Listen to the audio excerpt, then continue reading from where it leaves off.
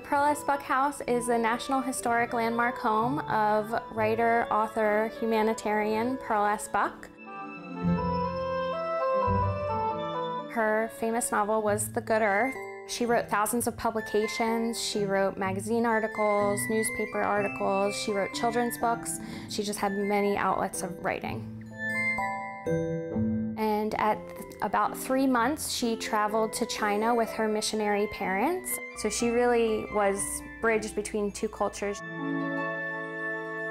Pearl Buck purchased this property in 1934. This is the large library, and when Pearl Buck lived here, she opened the large library to the community and allowed them to borrow books. There was no community library at that time.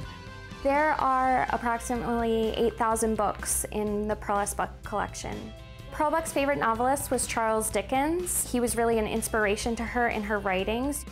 We have Pearl Buck's desk and typewriter and chair where she sat and wrote The Good Earth.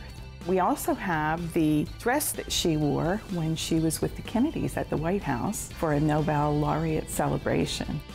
We do have the Nobel and Pulitzer Prize that Pearl Buck won in our exhibit gallery. She also had an Art Deco style piano. A very special piano because Oscar Hammerstein, Sound of Music, Oklahoma, he actually played on that piano. He was a friend of Pearl There's so much more than just a house tour here at Pearl Buck. We do many different things. We have many events. We have ghost tours, Mother's Day tea. She was very community oriented, and we're still that way today, inviting the community in. We're keeping her legacy alive and continuing what she would be doing. We have a lot of different visitors. Many visitors know all about Pearl Buck, and some people come here and they don't know anything about her, but when they leave from the tour, they get a really great example of all of the work that she did, including her humanitarianism, her activism, and her writing.